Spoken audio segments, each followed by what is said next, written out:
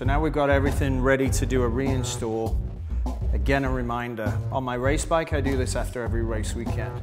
And if you do it that regularly, obviously on a, on a track bike, it's just gonna be a quick clean like this is, put it back together, put the thing back on the bike, job done. So it won't take you long at all. If you wait 8,000 miles like Mr. Williams did, or a steam producer, then it's gonna take a long time. It's gonna take a couple hours. You've gotta soak it in simple green, let that bed in, and then go after it very carefully with the toothbrush so you don't ruin the, the seals inside behind the piston. And go at it. Now, if you leave it too long, the pistons will actually get pitted, and so they won't go backwards and forwards properly. And then you've got permanent damage where you need to go in and have the dealership replace everything. So let's rebuild the caliper, get this together, and then go ahead and put the new pads in. Okay, now we've got basically everything clean, ready to go. The calipers hung. What we did and what we want to show you is on this particular pad that we took off, the OEM pad, there are cuts in the pad material. Now the reason there are cuts in this material is that it allows heat to dissipate. So for a street pad, you don't want to aggregate a ton of heat. You just want enough heat for the material to bind to the rotor so that the bike brakes and stops. But on this pad that we're using that is track specific from Performance Friction, and they do also, of course, have street pads, this is a carbon metallic pad. Now that requires a ton of heat to be built up in the brake pad for it to work well. And even more so if you have a pure carbon pad. Until you get heat, they just don't work.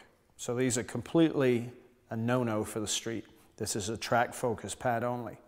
The other thing that we did as well, you can see here, there are no cuts in this to dissipate heat because this pad needs heat. So we want it to retain as much heat as possible. And one other word here when we do this, generally if you change pads from OEM to another brand, if you have the ability to do it, take the rotors off and have them sandblasted.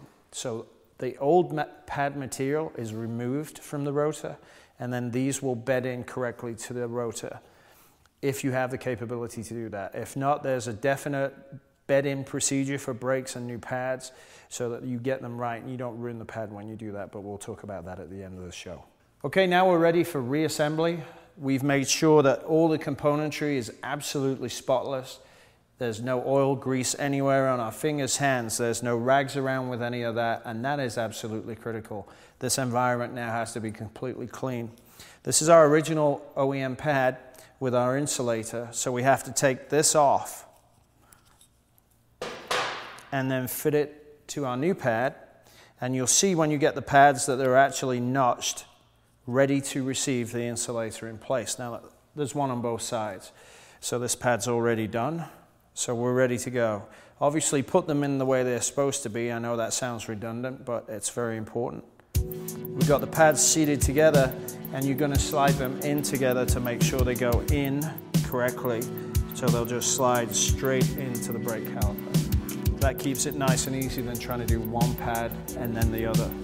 So we can unhook this now because we need to hold the brake pads in place.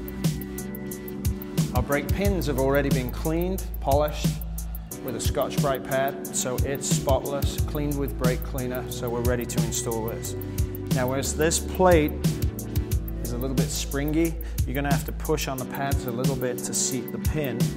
And what you wanna do is push the pin through, notch the pin, and before you use the Allen, visually check that the pin is located all the way through into the receiving hole. Once that's in and seated, you can turn this in just a couple turns to make sure it's seated correctly. Now we're gonna go to the back, push a little bit on those pins, seat that correctly, and then we'll turn this pin all the way in and make sure it seats. Now, at this point, we have no leverage to be able to tighten them, so put that all the way to the stop, then come back here and finish it. Make sure you do that by hand and both are tight. Go back and recheck that it is hand tight and it will be hand tight. Now we've got both the pads there, what we've got to do is make sure that these are apart. And simply just by using your fingers, you can push them apart. Now we're ready to go ahead and reinstall on the rotor. So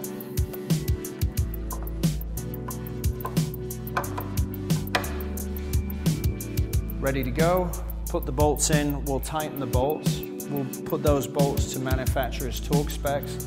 When that is done, we'll then get an Allen tool and we'll go ahead and set the torque on the pins themselves. Make sure that's done. And then we'll swap sides and do this whole thing over again.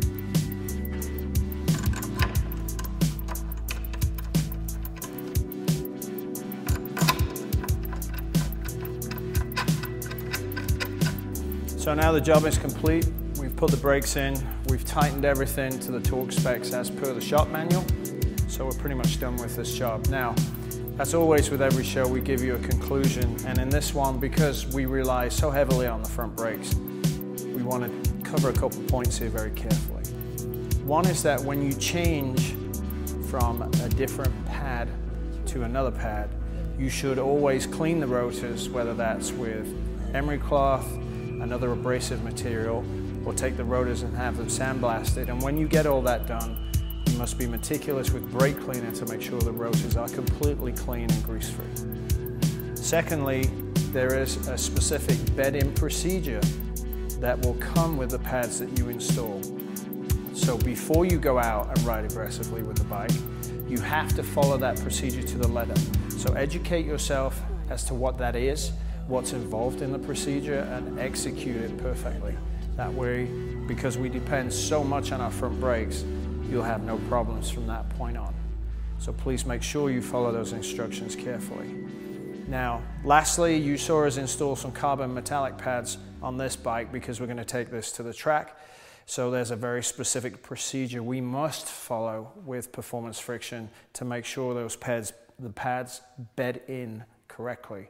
So we'll fill you in more about that on that particular show. So we'll see you next time.